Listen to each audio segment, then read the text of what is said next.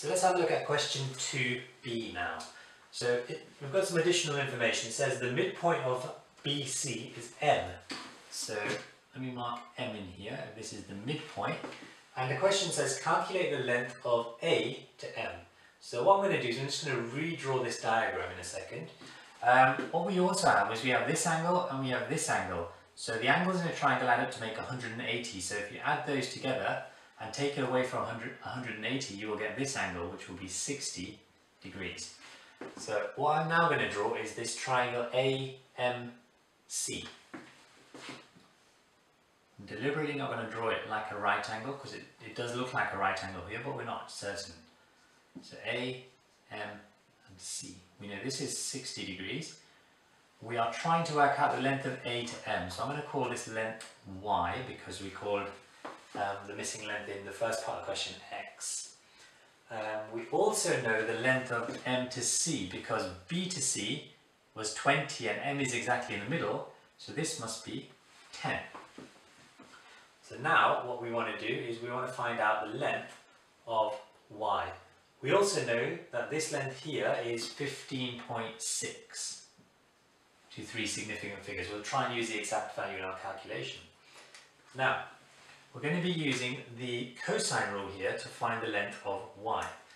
Okay, so the cosine rule is a squared equals b squared plus c squared minus 2bc cos a. So I'm just going to re, um, relabel each of these letters. So let me get a different coloured pen. And um, cos a, so there's only one angle in here, so I'm going to call this one a. Do it in red. So therefore this length is little a. I'm going to call this one b, so little b, and big C, little c.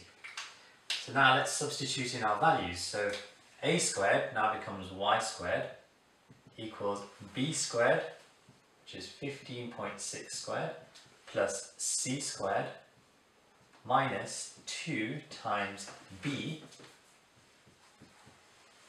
times c times cos of a, which is 60. So we're going to type that all into our calculator in one go. So that's going to be 15.6 squared plus 10 squared minus open bracket 2 times 15.6 times 10 times cos 60. Now what I've used, instead of 15.6, I've used the exact answer here. So the answer I'm getting is y squared is equal to 187.94. So in order to get y, I will just need to square root this.